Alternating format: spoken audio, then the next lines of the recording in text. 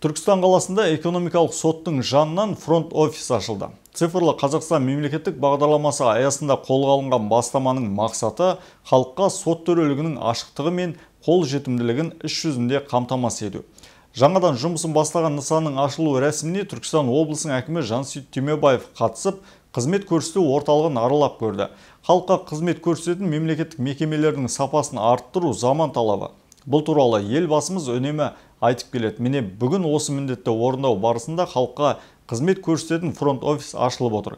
Бұл халық пен билік арасының одан сайын жақындастыра түсетін мекеме. Мұнда мәселенің дер кезінде әділ шешілуіне барлық жағдай жасалған. Яғни орталықта көрсетілетін қызметтердің басым бөлігі электронды жүйеге көшірілген. Бұл қоғамда дау-дамай туындайтын болса, бұрынғыдай ұзақ уақытқа созылмай қысқа мерзімде шешіледі деген сөз деді Жансейіт Қансейітұлы. Ғимаратта ақпараттық орталық кіріс кеңсесі мен өзіне өзі қызмет көрсету аймақтары орналасқан. Күту залында келушілерге жағдай жасалған интернет желісі мобильді сымдетіктерді қуаттағыштармен де жабдықталған.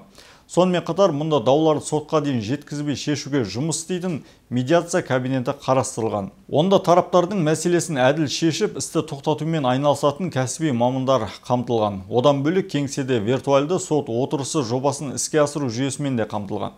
Бұл жоба еліміздің кез келген жерінен электронды құрылғылардың көмегімен сот отырысына қатысуға мүмкіндік береді